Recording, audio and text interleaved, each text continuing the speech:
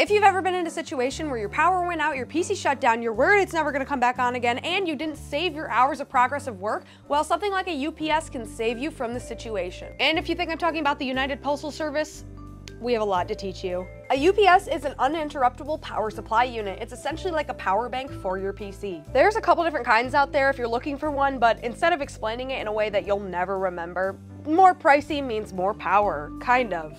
If you're a PC owner and you're in a place where power outages can go out pretty often, something like this can save hours of work. Bear with me while I try to explain what a UPS is in the most simple terms. You essentially take your UPS, you plug it into the wall, and you plug it into your PC. It's going to stay charged basically just by being plugged into the wall, and the minute your power goes out, it starts running and using the battery it has to run your PC and keep it going while your power is out. If your power goes out while you have a UPS, you can continue to just game and keep going, but that's not really recommended. It's probably more recommended to use as a save backup, so when your power goes out, you can save your progress, whatever it may be, whether in game or for work, and then safely shut down your PC during the power outage. And if you're a PC owner, don't be like me. Get a UPS. You never know when you could need one.